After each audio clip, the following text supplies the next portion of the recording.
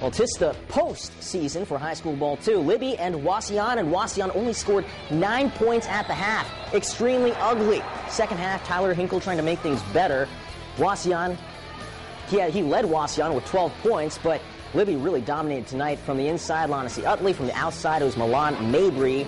And then Mabry again, another three opposite side. He had 12 points. Utley had 11 points. Cowboys dominating 50 to 30. They'll be back in the district finals. Buzzer beater shot, 50-50. So, I mean, it couldn't went in, but, I mean, it could have uh, went off the rim, but it went in. So, you know, we really got to get back there and go past that. The next game at BG, Rossford and Defiance Bulldogs with an impressive win over Scott the sectionals first half. Tyler Kralovic, he led the team in scoring tonight with 14 points, a steal, and the finish. Rossford up by one. Zach Leahy getting into the action too. Calling bank cash money for three. Closing minutes of the half, though, Anthony Kiston, he led the way for Defiance with 14 points.